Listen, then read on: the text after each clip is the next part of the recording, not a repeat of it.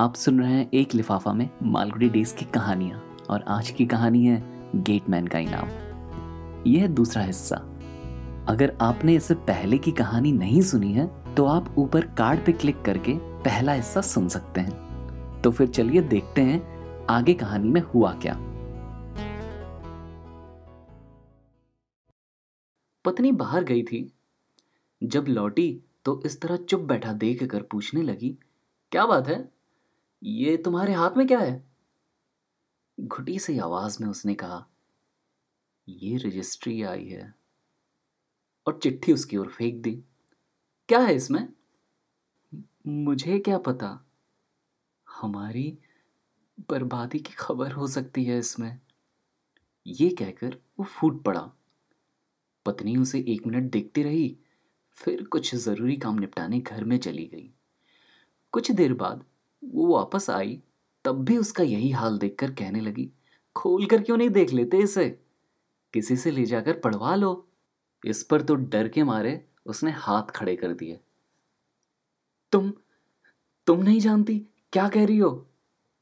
इसे खोला नहीं जा सकता। इसमें शायद लिखा हो कि मेरी पेंशन रोक दी गई है और पता नहीं साहब ने क्या कुछ कहा हो। तो दफ्तर जाकर उन्हीं से क्यों नहीं पूछ लेते? मैं मैं दफ्तर जाऊँ? मैं तो वहाँ अब अपनी शक्ल भी नहीं दिखाऊँगा। वो धीरे धीरे बोलता रहा। सारी ज़िंदगी मेरे खिलाफ एक भी बात नहीं कही गई। और अब वो कांपने लगा। मैं मैं जानता था, दफ्तर का मॉडल बनाकर मैं परेशानी मोल ले रहा हूँ। पहले भी जब मैं कुछ बनाकर ले जाता था तो सारा दफ्तर इकट्ठा होकर तारीफ़ करने लगता था। ये सब भी साहब के कानों में ज़रूर पहुँचा होगा। यही सब कहता, चिट्ठी हाथ में लिए, वो घूमता रहा। खाने में उसकी रुचि पर घूमता, जो साफ़ सुथरी सैनिक के उसकी ज़िंदगी को देखकर लोगों को बहुत अजीब लगता था। उसकी पत्नी की मानसिक शांति भी समाप्त हो गई थी, और वो भी पति के लिए बहुत चिंतित रहने लगी थी। उसे जो भी मिलता, उससे वो यही सवाल करता, इस पत्र में क्या है? मुझे बताओ। लेकिन वो इसके लिए तैयार नहीं होता था कि पत्र खोलकर देखें कि उसमें क्या लिखा है। अंत में यही हुआ कि सिंह ने एक्सरे वाले अस्पताल का पता लगाया, जो रेस कोर्स रोड पर था। जब वो फाटक पर पहुँचा तो देखा कि वहाँ गाड़ियों की लाइन लगी थी। और बाहर एक गोरखा सिपाही खड़ा था। सोफे पर बैठे बहुत से लोग पत्रिकाएँ और पुस्तकें पढ़ रहे थे। उन्होंने सिंह की तरफ़ एक हल्की नज़र डाली और फिर पढ़ने में लग गए। वो दरवाजे पर असमंजस की स्थिति में खड़ा रहा। ये देखकर एक सहायक उसके पास आया और पूछने लगा, तुम्हें क्या चाहिए? सिंह ने उसे सल्यूट किया और चिट्ठी सामने बढ़ाकर पूछने लगा मैं जानना चाहता हूँ कि इसमें क्या है? सहायक ने कहा कि खोल कर देख लो। लेकिन सिंह ने कहा, लोगों ने कहा है कि आप इसे खोले बिना बता सकते हैं कि इसमें क्या लिखा है। आप कहाँ से आ रहे हैं? सिंह ने उसे अपनी ज़िंदगी का पूरा ब्यौरा दिया और अंत में कहा, मैंने ज़िंदगी भर बिना शिकायत के नौकरी की है। अब मुझे लगता है इसमें मेरे लिए कोई परेशानी छिपी है। ये कहते हुए उसकी आँखों में आँसू आ गए। सहायक ने अचरज से उसे देखा। जो और भी बहुतों ने यह सुनकर किया था, फिर मुस्कुराकर कहा, घर जाकर आराम करो। तुम्हारी तबीयत ठीक नहीं लगती? जाओ, घर जाओ। आप मुझे ये नहीं बता सकते कि इसमें क्या लिखा है? बहुत दयनीय होकर उसने फिर कहा। सहायक ने पत्र हाथ में लेकर उसे देखा और पूछा, मैं इसे खोल सकता हूँ? नहीं नहीं नहीं। सिंह ने झपट कर पत्र उसके हाथों से ले लिया। उसकी आँखों में दहशत दिखाई देने लगी थी और लोगों ने भी सिर उठाकर उसे देखा और मनोरंजन के भाव से मुस्कुराए। सहायक ने नरमी से उसका कंधा थामा और बाहर ले गया। घर लौटते हुए वो इसी पर सोचता रहा। ये सब मुझे ऐसे क्यों देखते हैं? क्या मैं सचमुच पागल हूँ? दिमाग में ये शब्द आते ही वो एकाएक सड़क के बीच में ही रुककर खड़ा हो गया और चिल्लाकर कहने लगा तो ये बात है यही बात है। मैं, मैं पागल हूँ पागल। उसने खुश होकर सिर हिलाया। जैसे पूरी सच्चाई उसकी समझ में आ गई है। अब वो जान गया है कि लोग उसे अजीब नज़रों से क्यों देखते थे। वाह, अरे वाह! ये कहकर वो हंसने लगा। इससे उसे काफ़ी चैन मिला। मैं पागल हो गया था और मुझे इसका पता ही नहीं था। वो पिछले दिनों के बारे में सोचने लगा। एक एक दिन की सभी घटनाएँ। जब से उसने खिलौने बनाना शुरू किया था, उसकी आँखों के सामने से गुजरने लगी। पच्चीस साल की इज्जतदार नौकरी करने के बाद भला कौन आदमी खिलौने बनाना शुरू करेगा? अब जैसे उसके शरीर के जोड़ खुलने लगे और वो आराम से चलने लगा, उसे लगा कि वो उड़ भी सकता है। उसने दोनों हाथ ऊपर उठाए और सड़क पर दौड़ना शुरू कर दिया। लोग उसे देखने के लिए रुक गए तो वो चिल्लाकर कहने लगा, मुझ पर मत हंसो। मैं तो पागल हूँ। कौन जानता है, तुम भी अगर मेरी तरह खिलौने बनाने लगो तो पागल हो जाओगे। ये कहकर वो भीड़ के बीच चिल्लाता हुआ दौड़ने लगा। तभी उसने देखा, स्कूल के बहुत से बच्चे निकल कर आ रहे हैं। उसने सोचा, शोर का अभिनय करके इनका मनोरंजन करूँ। वो ज़मीन पर हाथ पैरों के बल चलकर गुर्राता हुआ बच्चों की तरफ़ जाने लगा। जब वो घर पहुँचा उसकी हालत बुरी हो रही थी।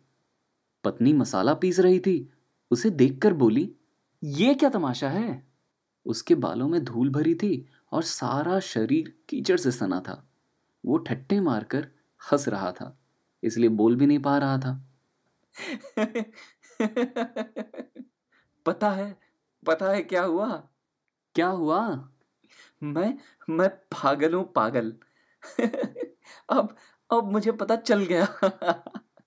उसने कोने में रखी टोकरी उठाई और उसमें से मिट्टी लेकर एक टोप बनाया। फिर उसे सिर पर लगा लिया। नीचे ज़मीन पर नए बनाए खिलौने रखे थे।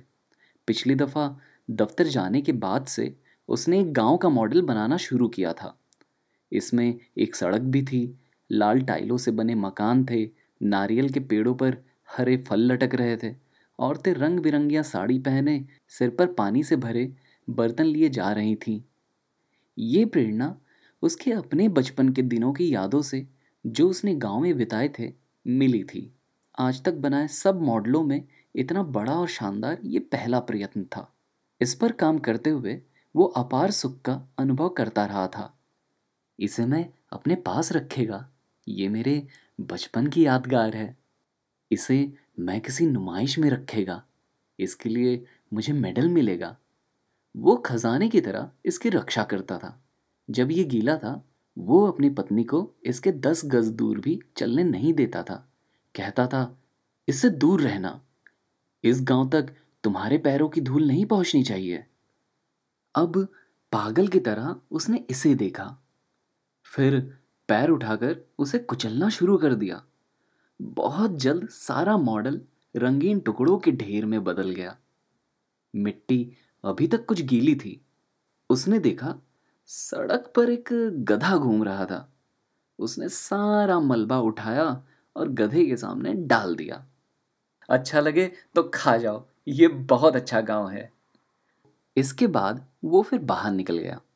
पागलों की तरह सड़कों पर टहलने लगा। फिर रुक गया। आराम से एक एक कदम उठाकर धीरे धीरे चला। गहरी सांस खींची। सिर पर टोप लगा था, जिसके भीतर से सफ़ेद बाल निकल पड़ रहे थे। बाहें पीठ के पीछे उंगलियों में वही चिट्ठी दबाए, सिर आसमान की तरफ़ उठाए, वो मार्केट रोड पर इस तरह आगे बढ़ने लगा। मानो दुनिया का मालिक हो। उसके पागलपन ने उसे असीम स्वतंत्रता, शक्ति और उत्साह प्रदान कर दिया था। लोग उसे देखकर हंस रहे थे, मज़ाक कर रहे थे, परंतु उस पर किसी बात का कोई प्रभाव नहीं पड़ रहा था। चलते चलते उसकी नज़र सामने खड़े खंबे पर लगे एक बल्ब पर पड़ी। उसे देखकर बोला, अरे, पपीते जितना बड़ा बल्ब! वो बहुत दिन से पत्थर मारकर इसे तोड़ने का विचार किया करता था, पर हिम्मत नहीं पड़ती थी।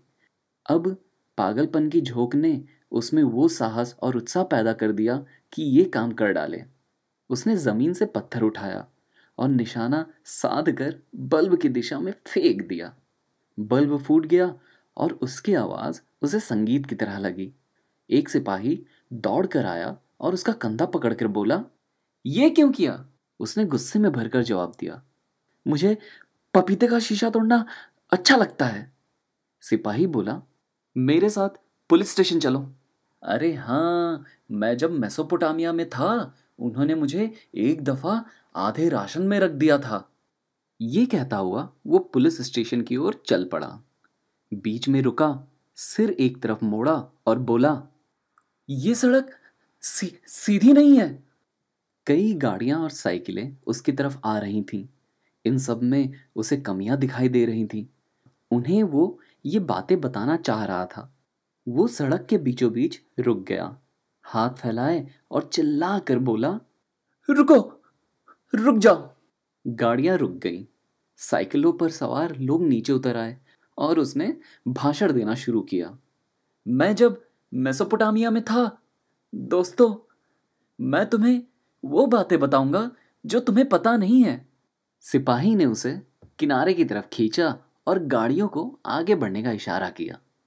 एक साइकिल वाला उसे ध्यान से देखकर उसके तरफ़ आया और बोला, अरे, ये तो सिंह है। वही अपना सिंह। अरे, तुम ये कैसे कपड़े पहने हो? तुम्हें क्या हुआ है भाई? पागलपन की रॉ की धुंधली हुई नज़र से भी वो इस व्यक्ति को पहचान गया। ये तो दफ्तर के अकाउंटेंट थे। उसने आदत के मुताबिक सीधे खड़े होकर अकाउंटेंट को सल्यूट किया और बोला, माफ़ कीजिएगा सर, मैं मैं आपको नहीं रोकना चाहता। आप जा सकते हैं। ये कहकर उसने सड़क पर आगे इशारा किया और अकाउंटेंट को उसके हाथ में वही पत्र दिखाई दे गया। उसने लिफाफा पहचान लिया। हालाँकि ये तुड़ मुड़ गया था और मिट्टी से भी सन गया था। सिंह, तुम्हें ये खत मिल गया? मिल गया, सर, लेकिन आप जाइए, इस बारे में कोई बात नहीं करनी है। क्या बात है? ये कहते हुए उसने लिफाफा छीन लिया और बोला, तुमने इसे खोला क्यों नहीं है? ये कहकर उसने लिफाफा खोल दिया और पत्र निकालकर ज़ोर से पढ़ने लगा। जनरल मैनेजर को आपके भेजे मॉडल बहुत कथात्मक लगे हैं और इनके लिए वे आपको सौ रुपए के इनाम की घोषणा करते हैं। वे आशा करते हैं कि इससे आपको ये काम करने का प्रोत्साहन मिलेगा और इस कला में आप और ज़्यादा प्रगति करते रहेंगे। पत्र अंग्रेज़ी में था, इसलिए उसका पूरा अनुवाद करके भी उसे सुनाया गया और पत्र के साथ सौ रुपए का जो चेक नत्थी था, वो निकालकर उसे पकड़ा दिया गया। ये तमाशा देखने बड़ी भीड़ इकट्ठा हो गई थी। सिंह ने पत्र अपने आँखों से लगाया। सिर पर हाथ मारा और ज़ोर से बोला, सर, आप बताइए मैं पागल हूँ या नहीं? तुम बिल्कुल ठीक लग रहे हो। तुम पागल बिल्कुल नहीं हो अकाउंटेंट ने कहा। सिंह ये सुनकर उसके पैरों पर गिर पड़ा और आँखों में आँसू भरकर बोला, सर, आप आप देवता हैं, जो मुझे पागल नहीं कह रहे हैं। ये सुनकर मैं बहुत खुश हूँ अब अक्तगो और घिराए। और पूछने लगे, अब क्या बना रहे हो, कलाकार? कुछ नहीं, सर। अब कुछ नहीं बनाता। ये भले आदमी का काम नहीं है। ये कहकर उसने पैसे लिए और तेज कदमों से बाहर निकल आया।